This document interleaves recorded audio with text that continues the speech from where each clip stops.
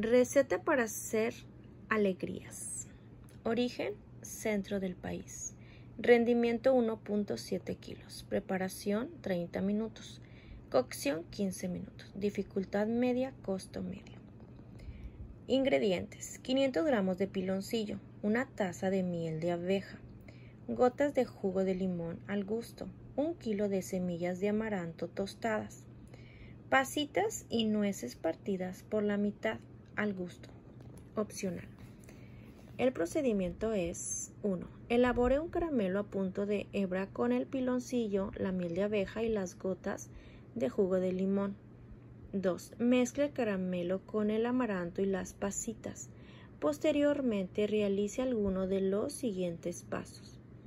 Coloque toda la pasta en uno o más moldes rectangulares. Cúbrala con papel siliconado o encerado y con un rodillo prénsela lo más que le sea posible.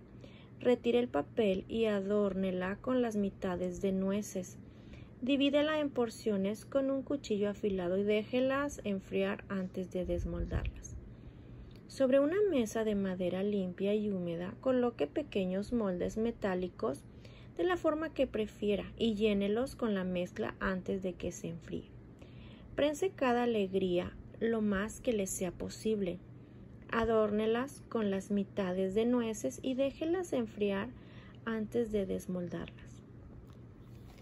Emplee las semillas de amaranto tostadas que se venden en tiendas naturistas, pues el tostado es un proceso complicado. Además, utilice miel de buena calidad para evitar que el dulce se desmorone.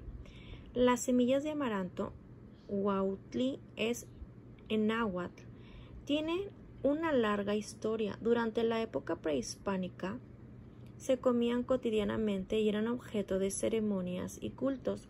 Con ellas se hacían pequeños ídolos que servían de amuletos para asegurar las buenas cosechas.